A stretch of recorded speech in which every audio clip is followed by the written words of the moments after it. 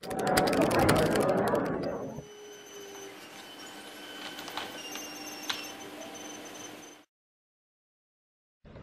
going on guys? Welcome to another uh, Python mathematics and charting stock indicators tutorial video. Uh, the last videos that we just made were the Aroon uh, indicators, right? So this is where we left off. And that Aroon indicator gave us something like this when we ran it. Right. So we had this. And actually, let me change this. Let's go, uh, let me change this back to 10 years, not just one year. 10-year data. Run it one more time, Apple, and here's our indicator. So, so this is what the Aroon indicator had been giving us. Now, um, the next thing is the Aroon oscillator, and luckily the difference between the Aroon indicator and the Aroon, Aroon oscillator is so minute that I'm just going to do it all in this same video. So the idea of the Aroon oscillator is the same as the indicator, the only difference is to, is to kind of combine these two things into one thing, and then you just usually fill between. You could just make it a single line, but generally people fill between because the uh, it's not necessarily a directional indicator, it's more of like an intensity indicator. So you wouldn't want it to just be a single line. You kind of want to use a fill between just to kind of bring that point home. But anyway, um, so that's what we're going to be doing in this video. The calculation for it is simply the high minus the low. That's it. And then the rest of it is just kind of um, some matplotlib coding to get it to fill in between. Short enough for me to do it in this video. Now a couple quick uh, images of what we'll be doing. That was just the regular, like this is the image of what we just made. Right, this is your Aroon, uh, normal, typical Aroon uh, indicator. And this would be a typical Aroon oscillator, right? So you've got the uh, high minus the low. Obviously, as it's going up, you're going to see it, you know, uh, goes up like this, and sure enough, it's that way until it reaches this point, kind of low, then back up again. And then again at about this point, just after it starts saying, hey, watch out, and sure enough, there it goes all the way down. Now, the next thing I would like to do is change this and use fill between to make up green, down red, just to make it even more clear. So that'll look more like this. And uh, so we'll be doing that uh, now within matplotlib. So um, let me just, um, we'll stop this from running. Uh, and we'll come over here and go down to uh, where we actually coded this, which will be here. Now, what we all we need to do is create a couple of new things we're going to need to make a new array for one, so we're going to want an uh, Aroon oscillator array. That'll be an empty array for now. And then we need to start populating it. So within this while loop, we'll want to uh, call the Aroon oscillator. So we're just going to give it a simple variable here, Aroon underscore OSC.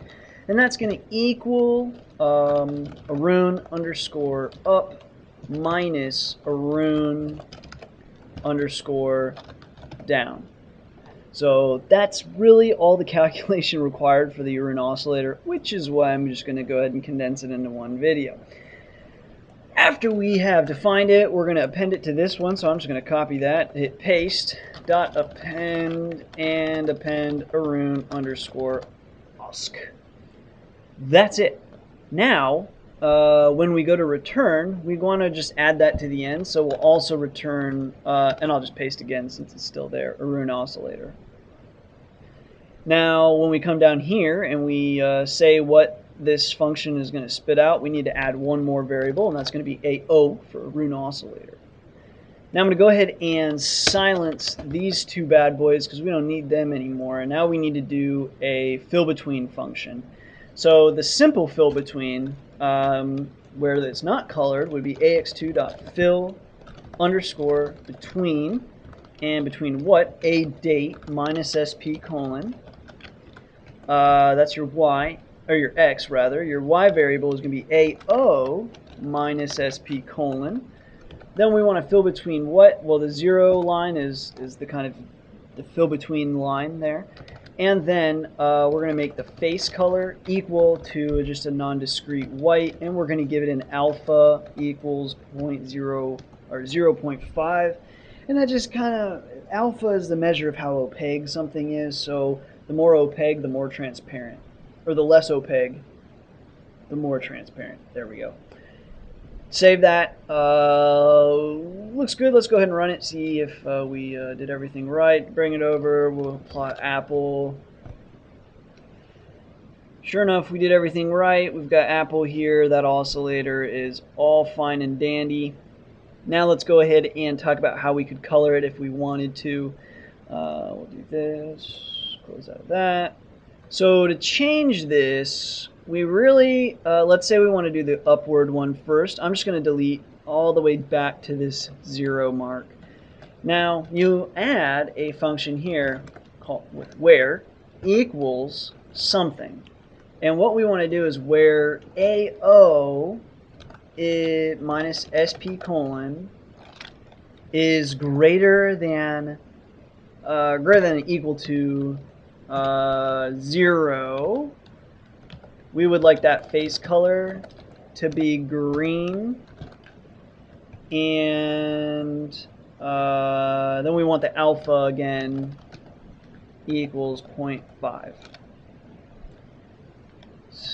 Close off your parentheses there. Now, we can't run this just yet because this where clause is going to require a numpy array. It can't just be a, a, Python list. So what we've got to do now is turn this AO into a numpy array. Luckily it's really simple. It's just np.array. and just in case all the way to the minus SP part in that and you're all set. Now, what I want to go ahead and do is we're just going to highlight this entire line, copy, move back over, paste, change this to red, change this to uh, less than or equal to zero. And that's it. Now let's go ahead and save that, run that, plot up, uh, again, we'll just do Apple and here is our new uh, Aroon oscillator uh, that's color coded now. So it just looks just slightly better in my honest opinion. And it's a lot more um, clear to anybody who's looking at it what this actually means. So anyway, that's the uh, conclusion to my uh, short tutorial on the Aroon oscillator, short enough so we can just jam it all into one video. Pretty cool little uh, thing you can do here with it. It makes just the chart that much better and a lot more clear to actually read for somebody. So anyway, hopefully uh, you guys have enjoyed. As always, thanks for watching. Thanks for the support and the subscriptions. And until next time.